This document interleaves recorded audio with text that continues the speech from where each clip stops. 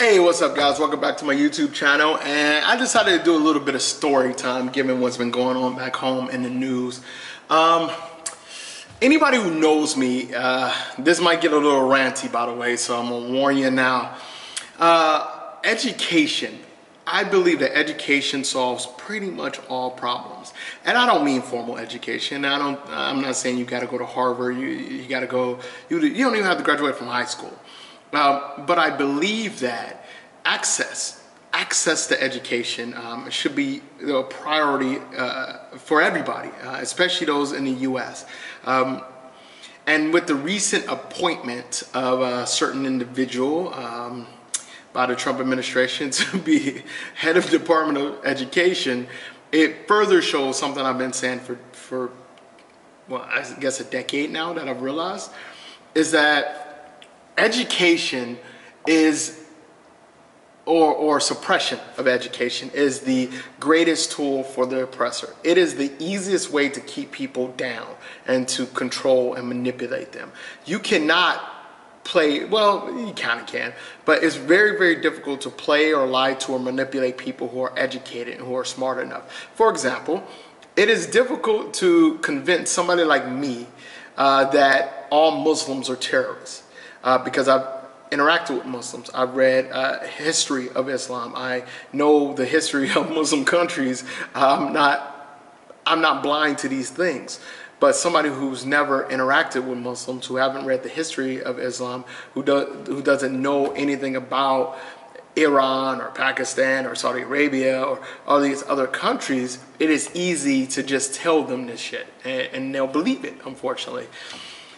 And it's so frustrating to watch this happen and to watch people uh, be manipulated into believing that it's okay for somebody who clearly has absolutely zero commitment to education to be put in a position to control that education.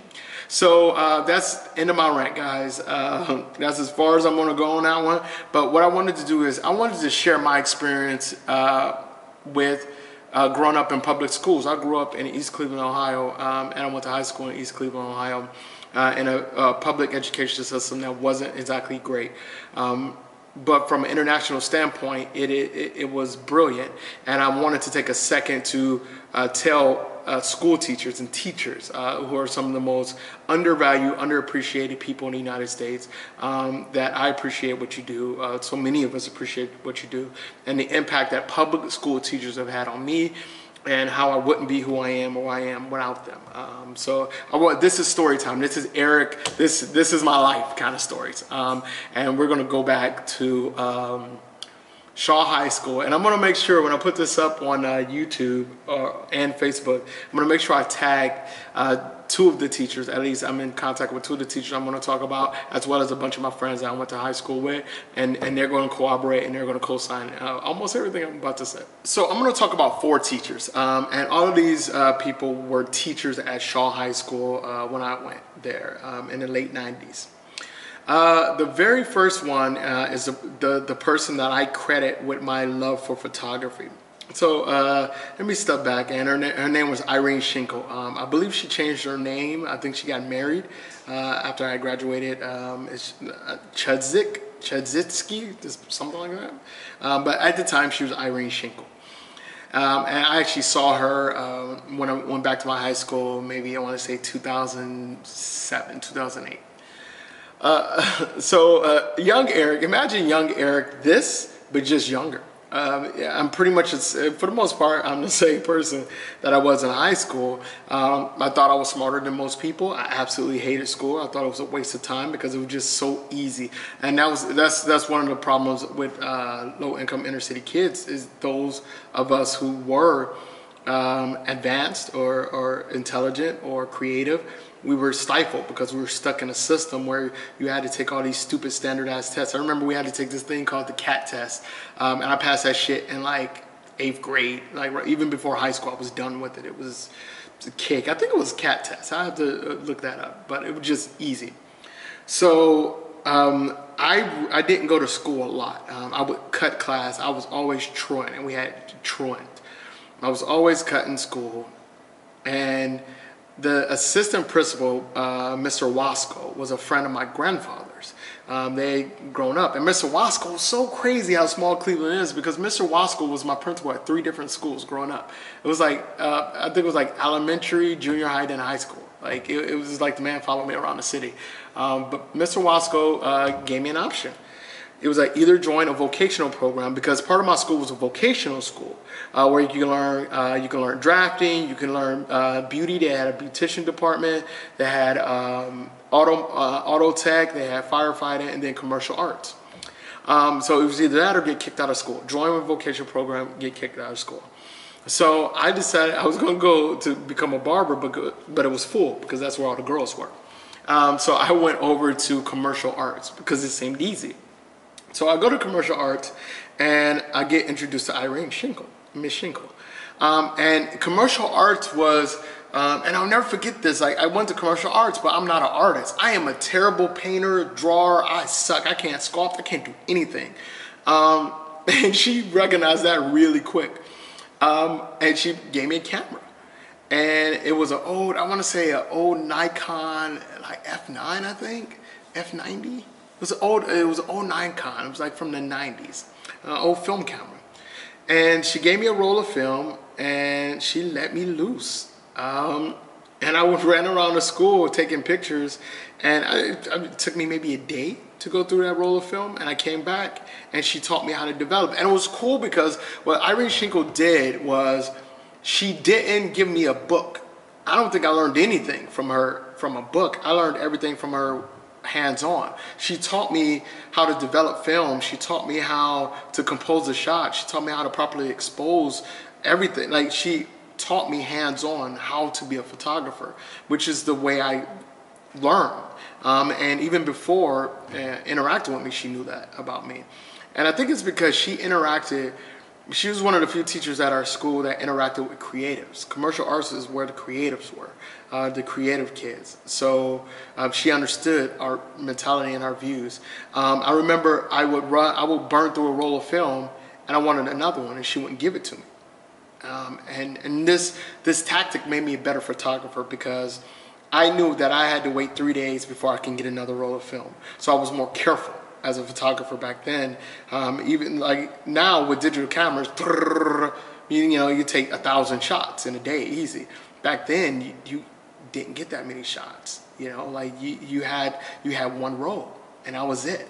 And it was a really, really interesting time in, in my development. And I love Irene Schinkel because she taught me how to be a photographer um, by showing me how to do it with my hands. So uh, for that, I want to thank you. Thank you so much, um, Irene, for I wouldn't be the photographer I am today without you uh, putting that camera in my hands and teaching me the discipline to be a better photographer. Thank so you. I don't really have favorite teachers, but this one, I, I, think she probably is my favorite teacher ever, and I've told her this. Uh, Miss You, uh, Lori Uragati Eiler. Oh man, this woman, uh, amazing, absolutely amazing woman. Um, and you should Google her. Um, she is absolutely a, a, pioneer in education in Ohio. Um, she was instructor for a, a program called uh, Street Street Law, uh, where she taught us about law and our rights as individuals. And this is so profound in the uh, black community and Latino communities because a lot of times that growing up we would be harassed by police officers um, and we didn't know our rights. And when some, when you grow up being harassed and then somebody comes and tells you like these are your rights as a human being, that's profound to 13, 14, 15 year old kids. Um, it, it, has a transformative uh, nature and ability. And she taught us so much about not only our rights as individuals, but our rights as American citizens. Uh, um, so a lot of the lessons that I learned there, I carry over as an adult.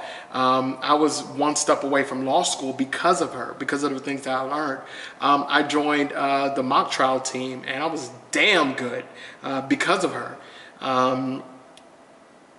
She really and, if there was one teacher I would have to say outside of Miss Schinkel who really set the foundation for my professional life, it would be Lori Uragli Eiler. Um, absolutely absolutely amazing amazing teacher and i'm i i don't believe that i'm even close to the only student that she impacted this way because i know a lot of her former students ended up going to become prominent lawyers and judges in ohio and the surrounding area um, because she was just that brilliant of a teacher uh, last time I went to my high school was to go speak to her class.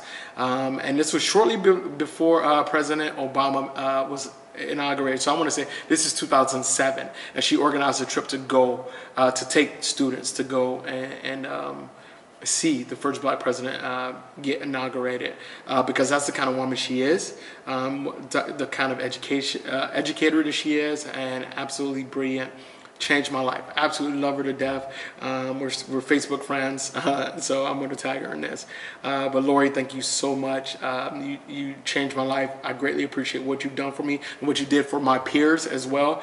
Um, and uh, it's so sad that you're you're retired now. I wish you could teach forever, and uh, but I'm sure you're doing amazing things now. So this next teacher I credit for this, this bravado, this this swag, this energy, uh, this passion, this this this fearlessness that I have. Um, I come from a community that it, that is uh, full of entertainers. Uh, the African American community, particularly my family as well, um, is full of musicians and dancers and singers. Um, we are bred, we are taught to be entertainers. Um, you, you, it's hard. It was difficult in my community to find anybody that was shy.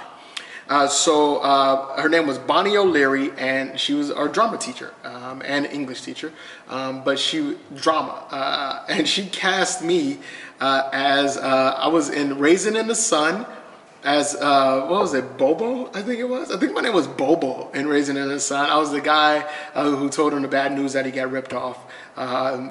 God, uh, I want to say it was Bobo. I need to look up that that, that role. And uh, I was one of the T-Birds in Grease. Um, I was Doody in Grease. And uh, I don't think Doody even appeared in the movie, but in the play, Doody had a pretty good role. Um, but the reason I appreciated Bonnie was she taught me how to be a performer, how to engage an audience, how to project. Um, one of the biggest things was how to project my voice. Um, and people always ask me, why are you so loud? And I was like, well, this is just kind of the way I am. I've learned to project my voice, and that came from the training under her, um, how to perform, how to put on a show, how to make people smile, and how to uh, channel my energy. Before, I always had reckless energy. That energy was just reckless. Uh, but she taught me how to focus that into, um, in a way that's uh, creative and that can help people and energize and entertain people. And I like to think I'm an entertaining uh, individual on a channel and when I do speaking engagement and different things like that. She taught me how to be a speaker, how to speak publicly, um, and, and, to get my point across. And she also taught me how to say stop saying um as much. So I apologize because I still do it. I know. But Bonnie O'Leary, uh, she's absolutely brilliant woman and she taught countless numbers of students um, how to be performers, how to be professionals, um, and how to uh, take art seriously. Uh, she really cultivated my passion for arts, which is a main reason that I absolutely love theater to this day. Um, a lot of people don't know this. But after I did that performance, I think a year later, because I would watch her, um, I had both roles in these plays were kind of small, and I would go to rehearsal, I would rehearse my part, and then I would watch her, how she directed, how she conducted, how she organized. And I ended up taking that and produced my own show called the Millennium, the Millennium Music Festival. Um, I directed, I produced, I cast, I choreographed, um, I got the catering for that, I raised funds for that, all because I was able to watch her. Um, and, and, oh God, I remember putting posters up on the wall uh, for this little festival I put together. Um, and it was all because of her and, and she, her inspiration, uh, which is one of the main reasons I feel like I can pretty much do anything that I set my mind to today. So uh, thank you so much, Bonnie, for uh, putting that artistic uh, seed in me, uh, for getting the talent out there, uh, for teaching me how to speak publicly, and for just being an all-around amazing person. Thank you so much, Bonnie. Last but not least, um, this is, you know, this man really he he taught me how to be a man in in certain ways. One of the things that has all that to this day bothers me is when somebody's not punctual. And it, it can all be traced back to Mr. Eiler. Uh, Mr. Eiler was my algebra teacher. Um, and I, earlier I told you guys I hated school. I doubly hated algebra class. Um, not only uh, because I just hate math, was because at the time I thought Mr. Otter was just a, he was an asshole. Um, but that was a kid kid's mentality um, because Mr. Otter didn't take shit from anybody. I I'll never forget this day. We uh, our high school was on a main street, and across the street was the bus stop. Like literally, you can look out this window and, and see the bus. Uh, and I remember I came to class about a minute late, and I was like, hey, he wouldn't let, he didn't want to let me in, and I was like, yo, I'm only a minute late. I'm only a minute late. He said, I'll tell you what, you go outside and you wait at that bus stop and wait for that bus to leave for one minute and see what happens. And he was dead as serious. And from that lesson, I realized that the world doesn't care about your excuses. The world is going to keep moving forward without you. And it gave me this different perspective on accountability and and and how I should conduct myself as a person, um, how I should value other people's time. And I think that is something that's severely lost today. And I don't want to, you know, uh, bash the younger generation. I think this is just a people thing. People don't value each other's time and people's effort and we, we default into making excuses instead of just rectifying the situation as in not being late um, studying a little bit harder pushing yourself to be better um, when the standard has already been set um, so i really appreciate mr eiler for this and it's funny because mr eiler kicked me out of high school so he was my algebra teacher, but I want to say a year and a half, a year or two, I want to say two years after I was his student, he became an administrator at my high school. And his job was to find out the kids who weren't living in the di district anymore and to send them to the proper school. Um, my mother had moved out. Uh, my mother kicked me out at 15.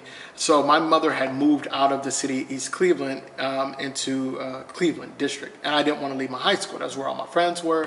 Um, I, I didn't want to leave my high school. So Mr. Eiler found out about that because you know when the school sends letters and stuff out, um, you have to show proof of res residency um, if they get returned um, and all that stuff. So he found out I was there, and long story short, he kicked me out of school. Um, and I ended up having to go to uh, a Cleveland Christian Academy to get my diploma my last year. And I came back, and he was still an administrator, and me and him probably had one of the best conversations um, that I've had with anybody. Um, and we just sat in his office and we just talked about life, uh, my career in the military, um, what it was like to be a teacher and transition into administrator. Um, and, and, and, it was so interesting when you become an adult, you see the perspective of teachers uh, far better. I mean, imagine dealing with a, a room full of, you know, 35 to 40 kids who don't have enough books, whose parents largely don't care about their education, who don't understand the importance of algebra, um, and, and, and, just receiving a shitty pay. I don't know what he got paid, but it wasn't enough for what they were doing there. Um, but yeah, I, I really want to want to shout out Mr. Eiler because he taught me uh, not only how to be punctual, but how to be more responsible. So thank you so much for that, Mr. Eiler. So these are only like four of the teachers. Um, my high school was actually, uh, everybody probably says this in high school, but my high school was absolutely amazing. Like the quality of teachers, and it's so sad that a lot of them retired now. Um, like I came up kind of these are the teachers who are a product of Reaganomics. Like these, these were the teachers who came up through the system in the 80s and the 90s. Uh, so you know, now at 30 years, they're they're all retiring now. Um, but they gave a fuck. They really cared. All of these teachers cared about us. And that's something I, I, I can honestly say is that the, the, the teachers that I had in high school cared. And to this day, they still care. Now, I don't know what the public school system is now, but I have a lot of friends who are teachers, and I know that they care. And as Americans, and I'm talking specifically to Americans, um, we have to support our teachers better. We have to ensure that the people who can do the job are put in a position to help these teachers uh, educate our future children. And let's not get caught up in this partisan crap where people are allowed to cut funding to schools. If there is one place that you don't cut funding, it's education because that is where you're going to find your skilled workers. That's where you're going to find your doctors, your lawyers, your future politicians, the people that can help make America great again are the ones who are coming up in the school system now who can truly think and analyze and understand what the world and, and what identity is on a global scale as opposed to this ridiculous compartmentalize Americanism.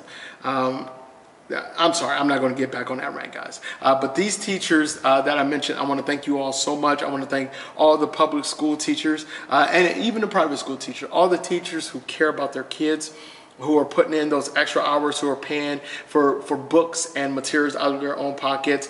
Uh, I support you. Um, I'm going to donate as much money as I can to you guys. Uh, I'm going to always champion the cause for you guys. Um, I think it's uh, ridiculous what's been going on for a long time, and I hope we can change things. I really, really do. So with that, have you guys had uh, an amazing teacher? Please tell your story in the comments below, um, and and and really, really continue to push to make the world better than you found it and make our education system better than you found it. I'll see you guys in the next video.